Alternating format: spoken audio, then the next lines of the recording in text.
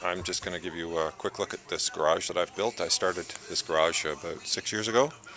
Uh, once I get my papercrete finished, I'm going to hope to get back to it, get it finished. But uh, it's a log garage.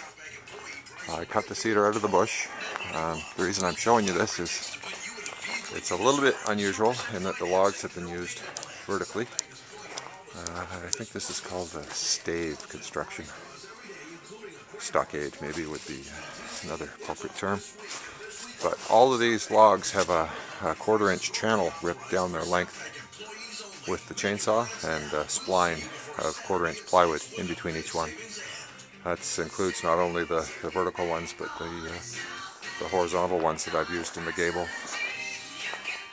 Burning some of that uh, paper that I don't need for the papercrete. But anyway. Hopefully next year I'll get to putting the windows and doors in. the family has uh, told me that it's uh, no longer going to be garage, it's going to have to be a games room, so I'm completely on side with that.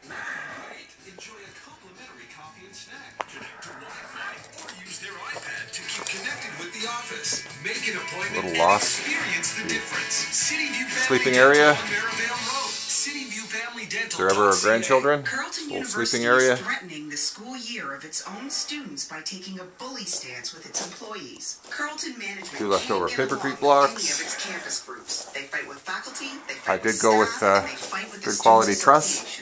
CUPE 2424 members are committed to providing the administrative, professional, and technical services that support our students. But Carleton Management is trying to force a strike. That's Carleton my log garage. Stop fighting and